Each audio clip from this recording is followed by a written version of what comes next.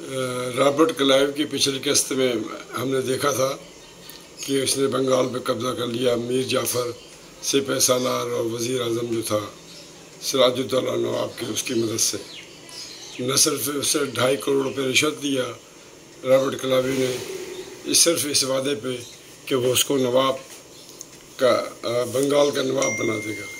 रिश्वत ऐसी बड़ी, बुरी चीज़ है कि सिर्फ़ वादे पे ही ऐसा हो जाता है।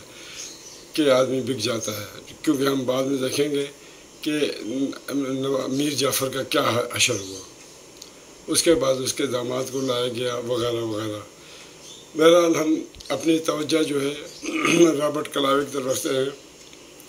रॉबर्ट कलावे ने न सिर्फ़ फ्रेंच को शिकस्त दी, इससे पहले फ्रेंच के तहफ़ के लिए नवाब सराजुद्दौला के मदद करता था, अपने सिपाही देता था। लेकिन इसने मकामी तौर पर सिपाहियों को, अफसरों को रिश्वत देकर फ्रेंच का कला कमा किया। एक सपोर्ट जो थी, नवाब सराजुद्दौला या बंगाल के हुक्मरान की, वो ख़त्म हो गई। इसके बाद उसने डच को पकड़ा और डच के पे हमला आवर हुआ। और सिर्फ़ इस शर्त पे कि वो किला बंदी ना करेंगे, फोर्ट्रेस ना बनाएँगे, उसने उनको तजारत की इजाज़त दी। सत्रह सौ पैंसठ में सत्रह सौ साठ में वो इंग्लिस्तान चला गया। बीमारी का बहाना करा के। वहाँ गया, उसका बड़ा पुरजोश इस्तकबाल किया गया। मलका और बादशाह ने उसका इस्तकबाल किया वज़ी अजम ने इस्तकबाल किया। हालाँकि इसके साथ इसकी बदनामी पहुँची थी कि ये रिश्वत भी लेता है और और सब कुछ करता है। बहरहाल, उसने वहाँ पे जाके उस ज़माने में ये होता था कि को, कोई गाँव या इलाका ख़रीदना पड़ता था। इसके पास इतना पैसा था उसने देखा देकर एक डचीज़ ख़रीद ली एक इलाका ख़रीद लिया और वहाँ से इलेक्शन के लिए तैयारी करने लगा। सत्रह सौ पैंसठ में ये वापसी हुआ और जैसे ही ये वापस हुआ और सूरत की बंदरगाह पे पहुँचा तो एक नई खबर इसके लिए मुंतजर थी। मालूम हुआ कि इसके असिस्टेंट ने, इसके असिस्टेंट ने नवाब अवध को, अवध यूपी को कहते थे। नवाब अवध को शिकस्त देकर कुछ गला ख़राब है, चौबीस घंटे से। नवाब अवध को शिकस्त दे दी है। ये खबर ऐसी थी कि अभी अभी अभी पहुँची थी, जैसे ये पोर्ट पे पहुँचा था।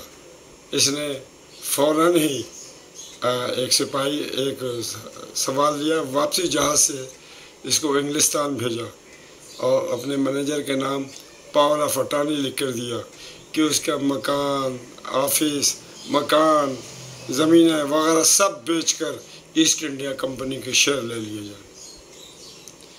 इस ईस्ट इंडिया कंपनी के, यूपी की फतह की खबर से पहले ही इसने जहाज़ से पहुँचा दिया और शेयर ख़रीद लिए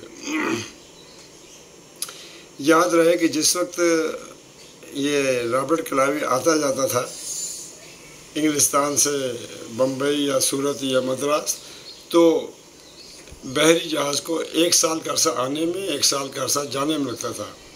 क्योंकि बादबान के सहारे अगर हवा मुनासिब है तो जहाज़ चलता था, मालो इसबाब भी होता था। वगरना दूसरी सूरत में जहाज़ कहीं का कहीं अक्सर साउथ अफ्रीका के साहिल पे पहुँच जाता था। तो ये तीन दफ़ा आया गया। तो दूसरी दफ़ा जब ये आया तो इसने देखा कि कंपनी के मुलाजमीन में बहुत पैसों के हवस बढ़ गई है। ज़ाहिर है वो इसको देखते थे, अपने अफसरों को देखते थे तो उसने कुछ फ़ौजी असलाहत को शुरू कर दी। कि आइंदा से कोई भी कंपनी का मुलाजिम ज़ाती कारोबार नहीं करेगा। और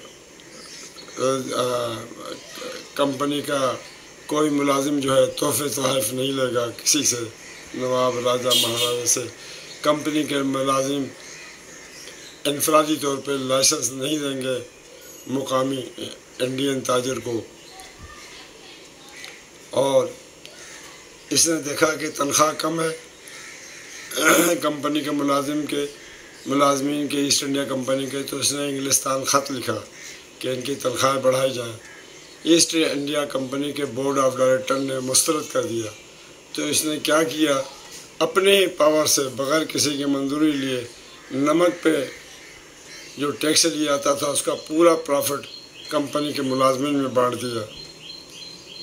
लेकिन ऐसा करते हुए उसने कंपनी नमक का महसूल बढ़ा दिया, टैक्स बढ़ा दिया, जिसकी वजह से ये हुआ कि लोग जो थे, वो ज़्यादा जेर बार आ गए। लेकिन इससे रॉबर्ट कलाई को वास्ता न था।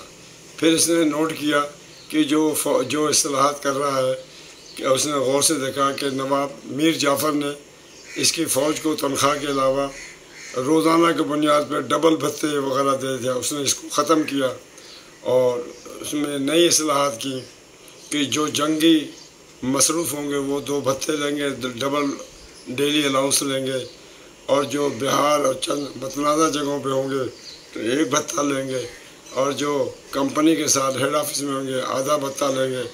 लेकिन अगर ये एकदम नाफिज कर देता तो बगावत हो जाती है, लिहाजा उसने फ़ौज को तीन हिस्सों में तकसीम कर दिया, तीन ब्रिगेड में। और इस तरह डिसेंट्रलाइज करके उसने फ़ौजी सलाहत की। फिर इसने ये किया कि अवध के नवाब शुजात दौला से अलग माहा किया, उससे पैसे लिए, फ़ौज रखने के, उसकी हिफाजत के लिए अलग पैसे लिए। और शहनशाह दिल्ली जो उस वक्त इलाहाबाद में मुकीम था उससे माहा किया और बंगाल की जितनी रेवेन्यू थी, दीवानी, वो अपने नाम कराई, क्योंकि वह इंग्लिस्तान में एतराज़ करते थे, कंपनी तजारत की, के लिए गई है। लैंड रेवेन्यू से इसका क्या ताल्लुक है? ज़मीन की मसूला से क्या ताल्लुक है? लिहाजा उसको जस्टिफाई किया गया। यही रॉबर्ट कलावी था, जिसने दो अमली निज़ाम मुतारफ़ कराया बंगाल में, यानी प्रॉफिट ज़मीन के वसूली टैक्स वगैरह जो है, लैंड रेवेन्यू, वो कंपनी के होंगे, इंतज़ामिया ये नवाब की होगी। लेकिन चूँकि कोई माली इसमें न थी, नवाब सारी रेवेन्यू देकर सिर्फ़ ताजरों पर लगाए गए टैक्स से क्या कर सकता था? लिहाजा बड़ी बदमनी फैली और पहली दफ़ा ये रॉबर्ट क्लाइव के वक्त में कहत भी बंगाल में फैला। और लाखों लोग, वन थर्ड आबादी मारी गई। सत्रह सौ सिक्सटी सेवन में, सत्रह सौ सड़सठ में ये वापस आया इंग्लिस्तान में, लेकिन इसकी दौलत के चर्चे वहाँ पहुँच चुके थे कि मुख्तलिफ़ हेल बहानों से ये रिश्वत लेता रहा है, कुछ कंपनी को देता रहा है और बकाया खुद खाता रहा है और इसने वहाँ पे जाके नवाब, पैलेस के नाम से बिल्डिंग बनाई तो जायदादें ख़रीदी तो बड़ा बदनाम हुआ। इकतीस मेम्बरान का एक कमीशन बना तो इसमें से चंद पे इस पर इल्ज़ाम साबित हो गए। इसकी बड़ी बदनामी हुई। लोग इससे नफ़रत करने लगे, इसको रिशत खोर समझने लगे। इंग्लिस्तान का अपना जो निज़ाम अखलाक था, उसके तहत वो इसको वो ख़ुद तो चाहते थे कौमी तौर पर लूट सके, लेकिन इनफरादी तौर पर कोई लूट नहीं सकता। इस असूल के तहत तो ये बड़ा बदल हुआ। शादी इसने की थी और इसके नौ बच्चे थे, पाँच लड़के थे, चार लड़की थी। तो ये बदली के आलम में यूरोप की सैर करने चला गया, फ्रांस गया, इंग्लिस्तान गया स्विट्ज़रलैंड स्विट्ज़रलैंड गया, वहाँ पे तस्वीर वगैरह कीमती ख़रीदी। और चूँकि लोग इससे नफ़रत करते थे, इसको रिश्वत खोर, राशि समझते थे, इससे बातचीत ना करते थे तो एक दिन इसका सेक्रेटरी आया हुआ था, छुट्टी का दिन था, सेक्रेटरी अपनी बीवी के साथ आया था, उसने उनको चाय पे बैठाया, सब नाश्ते की मेज़ पे बैठे थे कि इसने मक्खन लगाने वाला चाकू उठाया और गुसल खाने में घुस गया। चीखने की आवाज़ आई, दरवाज़ा तोड़ के निकाला गया, इसने अपने गले पे चाकू मार लिया था ब्लीडिंग की वजह से इसको अस्पताल ले जाया गया, वहाँ ये मर गया। ज़्यादा जरियान खून बहने से। शुरू में तो ये बताया गया कि डॉक्टर ने दवा दी थी डिप्रेशन की ओवर डोज हो गई है, लेकिन आस्ता आस्ता मालूम हुआ कि उसने सुसाइड किया है। तो हम ये कह सकते हैं कि रॉबर्ट कलावी एक होशियार से, ताजर एक होशियार सिपाही, एक एक होशियार ताजिर और एक होशियार सियासतदान था, लेकिन दूरबीन न था। मतलब कि वो नहीं समझता था कि जिस माशरे का वह बंदा है, वहाँ पे रिश्वत खोरी से, आमदनी से वो बड़ा न बन सकेगा।